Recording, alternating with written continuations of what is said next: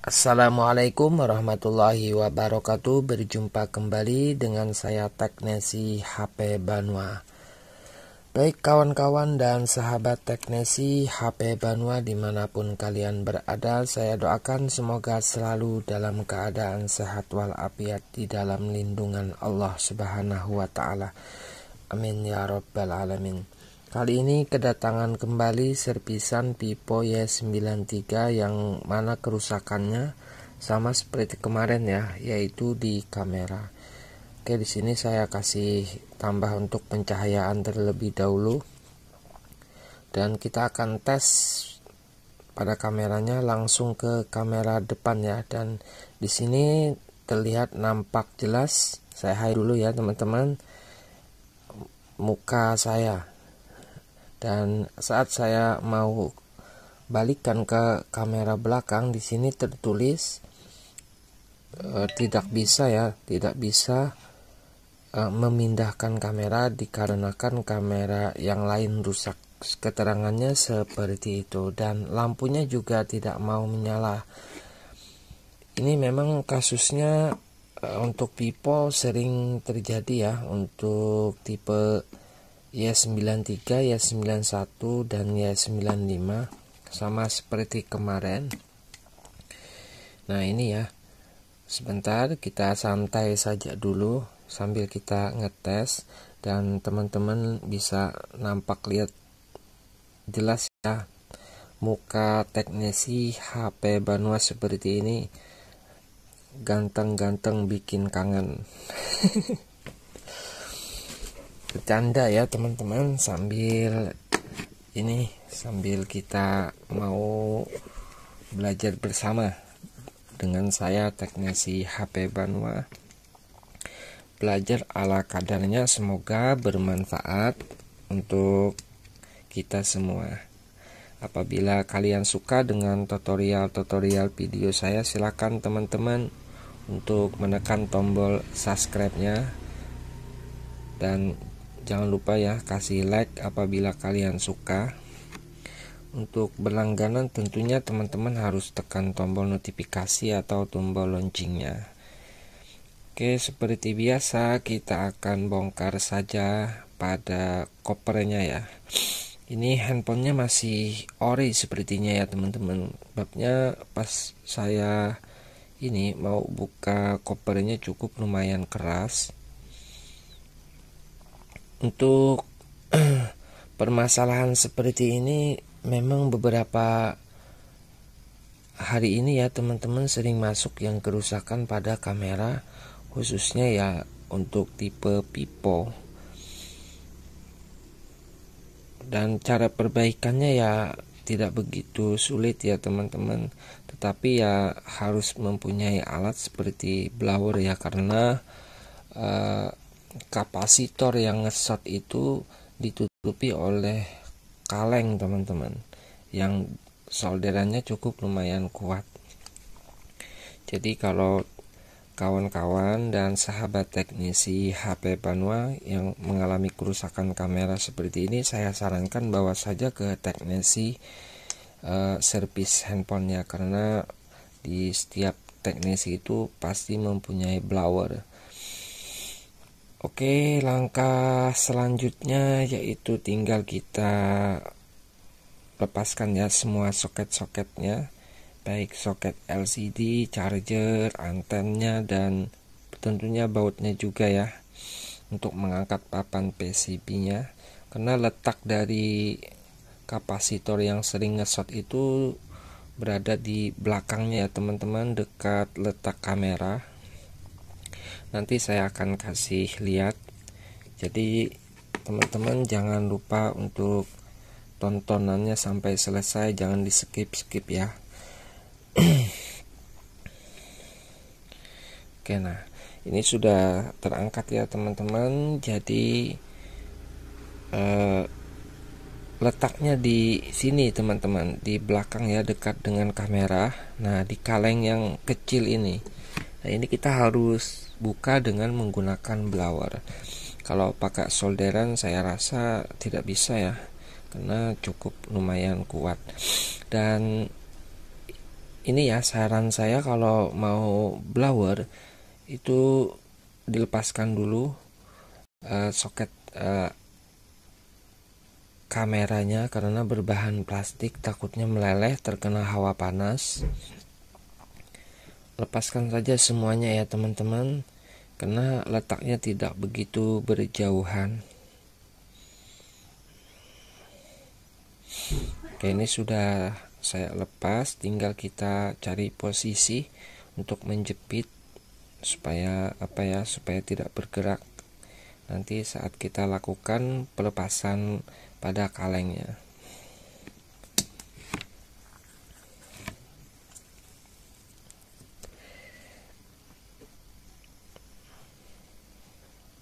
Oke, jangan lupa untuk menambahkan fluk terlebih dahulu ya sebelum kita blower agar penghantar panasnya itu cepat.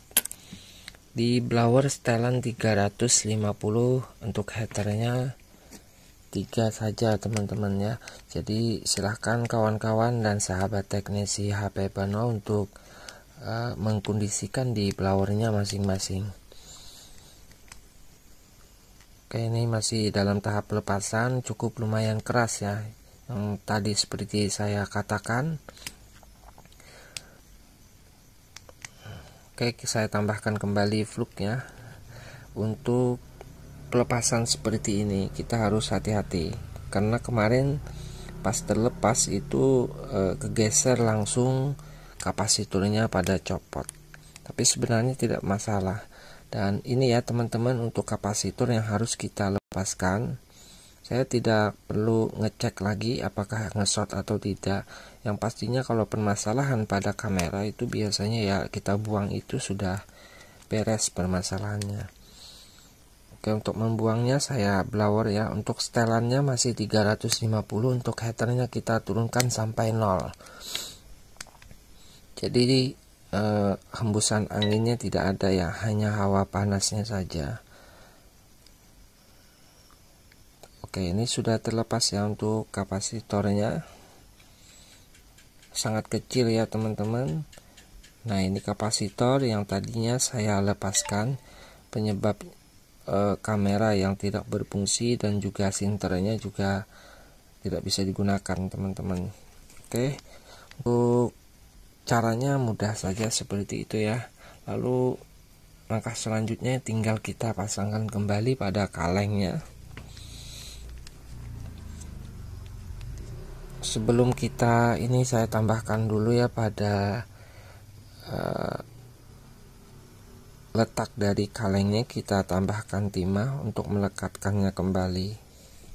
Nah caranya seperti itu saja ya teman-teman untuk membuktikan nanti kita akan sama-sama ya. Jadi tonton terus videonya sampai selesai. Dan bagi kawan-kawan yang ingin servis handphonenya jangan lupa silakan saja berkunjung ke konter Plangisel Desa Pantai Kecamatan Kelumpang Selatan tempat tinggal saya dan konter handphone saya. Jadi bagi yang mau servis mau yang uh, jual beli uh, tukar tambah maksudnya ya teman-teman. Silahkan saja datang ke tempat saya. Karena selain servis saya juga jual handphone baru second uh, terima tukar tambah juga dan macam-macam lah ya. Jadi bagi kawan-kawan yang berminat masih mempercayakan untuk servis simponnya di tempat saya silahkan insya Allah uh, saya layani dengan sepenuh hati. Oke untuk pemasangan kalengnya juga sudah selesai. Tinggal kita tunggu dingin sambil membersihkan sisa plugnya ya teman-teman. Langkah selanjutnya yaitu tinggal merapikan saja nah untuk karetnya yang tadi meleleh ya kita buang saja. Karena ini tidak masalah. Nanti saat kita pasangkan hanya itu pelindung atau pelekat dari itu ya soket kamera. Oke, kita pasangkan dulu kameranya. Ini yang punya anak sekolah saya dikasih uh, jatah tempo satu jam ya teman-teman untuk perbaikan handphonenya karena mau dipakai untuk mengerjakan tugas sekolah kan sekarang uh, online ya untuk sekolahnya. Jadi buru-buru dikasih waktu satu jam. Ah, cukup lama ya teman-teman kalau untuk hanya perbaikan kamera. Oke kita akan coba untuk kameranya kita hidupkan dulu handphonenya ya. Tunggu logo pipunya masuk ke menu.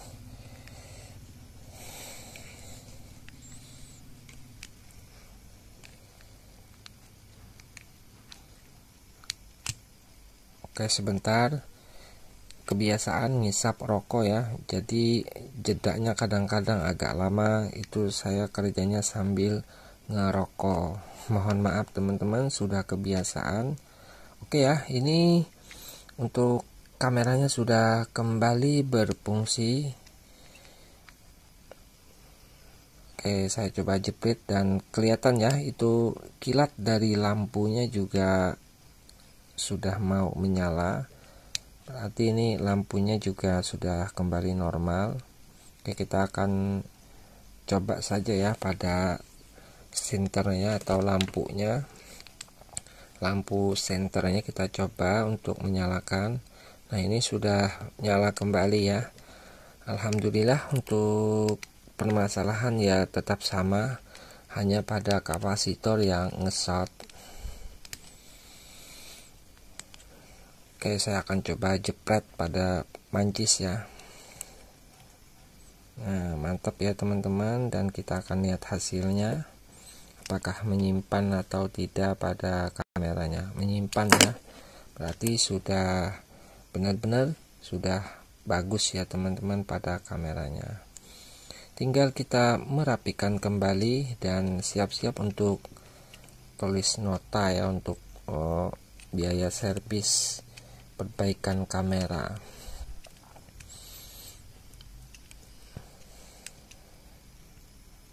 Oke tinggal merapikan. Baik kawan-kawan dan sahabat teknisi HP Banua Terima kasih sudah menonton video saya sampai selesai. Semoga apa yang saya berikan bisa bermanfaat untuk kita semua. Apabila ada kritik beserta saran silahkan teman-teman tuliskan di kolom komentar. Karena uh, saran dari teman-teman itu yang membuat saya semakin bersemangat dalam tutorial perbaikan handphone. Insya Allah kita akan berjumpa kembali di lain waktu dan kesempatan. Apabila ada kesalahan kata dalam penyampaian, mohon kiranya dimaafkan. Uh, apalagi ya teman-teman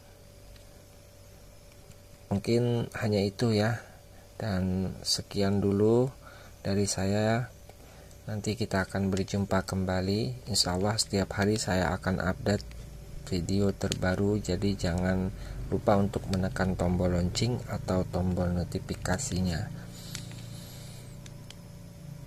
Baiklah saya akhiri. Wabillahi taufik wal hidayah. Assalamualaikum warahmatullahi wabarakatuh. Jaga kesehatan. Selalu pakai masker ya untuk sekarang uh, hanya sekedar sesama ya untuk saling mengingatkan saja. Sekian dari saya. Assalamualaikum warahmatullahi wabarakatuh. Salam teknisi HP Banua. Jumpa lagi di lain waktu dan kesempatan